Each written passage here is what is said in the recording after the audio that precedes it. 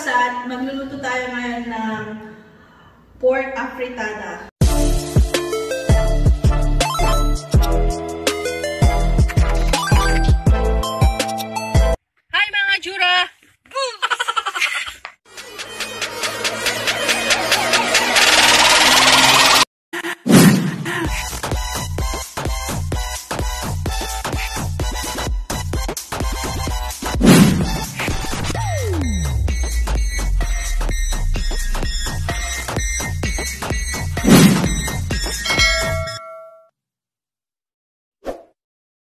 Kailangan natin is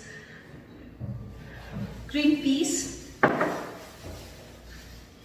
black pepper, bay leaves, bell pepper, tomato sauce, ating pork, then yung carrots, potato, and then onion and garlic. So ngayon, sisimulan na natin siyang lutuin. Kailangan natin maglagay ng konting mantika. Maghintay lamang ng dalawang minuto para uminit yung mantika sa kalan. Tulad na paghihintay mong uminit ang pagmamahal niya sa'yo. Swerte mo kung ang puso mo ay sibuyas. Puso mo ang hiniwa, sila naman ang luluha. Kaya ayan, ilagay mo na ang sibuyas. Haluin lang to ng bahagya.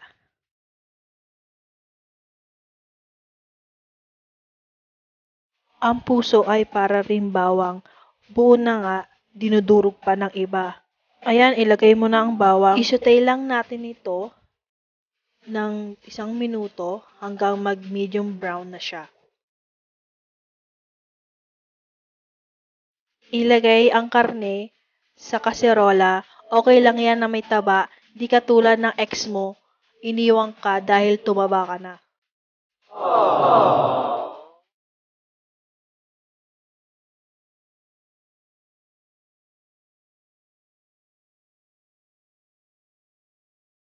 Ayan, haluin lang at ikot-ikutin tulad ng pagpapaikot niya sa'yo.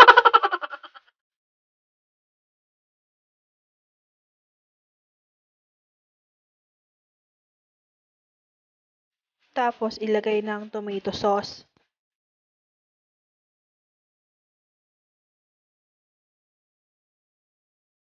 Sunod na ang pork cubes.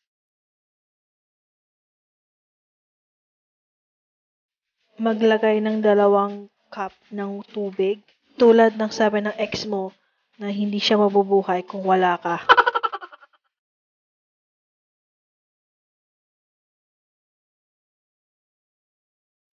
Ayan, ilagay nyo na yung dahon ng laurel. Dahil ang sabi nila, walang humpay ang swerte mo sa pag-ibig.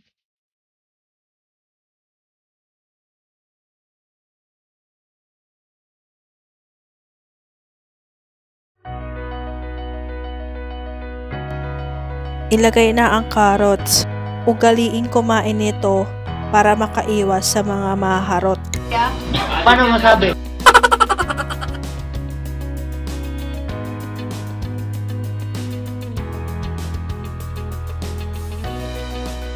Ayan patatas para sa jowa mong magaling tumakas. At kailangan mo pang balatan para maramdaman niya kung paano masaktan. Oh no!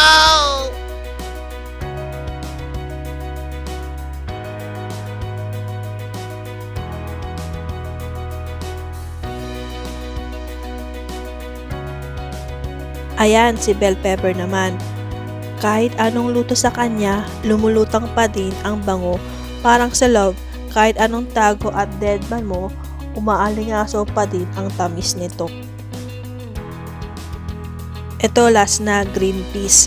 Wala akong mahugot sa kanya. Magbigay nga kayo ng hugot dito. Comment down below.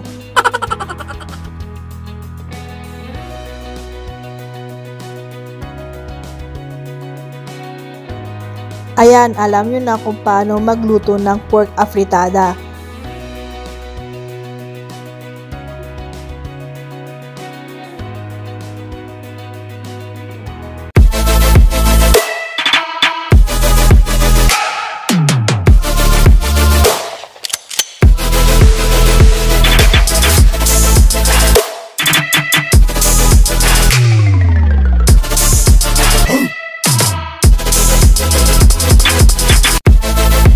20 minutes later.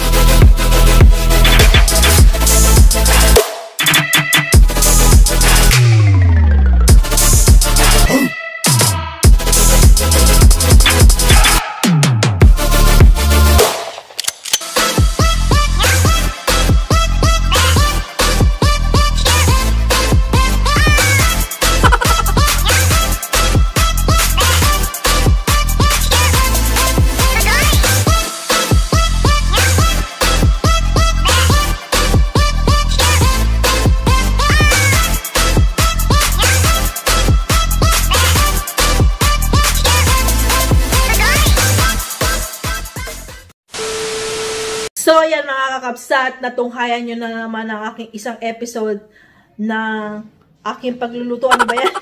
May mga ano. Ah, salamat sa panonood nyo. At bago ko i-end to, gusto ko lang pasalamatan lahat ng members ko at sa mga super chatters. Yung mga link nila nasa description ng video na ito. At huwag niyong kakalimutan na kalimbangin din sila dahil super legit sila. At kung hindi nyo pa sila kadikit, dikitan nyo na dahil talaga super legit, super supportive talaga nila mga kakapsat. Thank you, thank you, thank you kay Kuya Brady. Um, ang YT channel niya is BLDG Productions. And kay Ate Virgo, ang YT niya is Virgo Girl Channel. Kay Ate Philam, ang YT niya is Philam Couple. Kay Sir Roberto, ang YT niya is Roberto Jordan. At lastly, kay Kuya Dion, ang YT channel niya is Dion D15. Ayan mga kakabsat, dikitan nyo na. At huwag niyong kakalimutan kalimbangin ang kanilang kampana. Alright? Yung tililing-tilibing button nila dyan. Alright? Alright mga kakabsat. And that's all for now. Thank you for watching.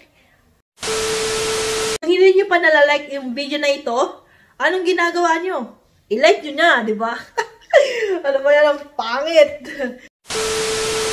Don't forget to like, share, comment, and click the notification bell para updated kayo sa aming future vlogs. Alright mga kakapsat, see you in our next vlog.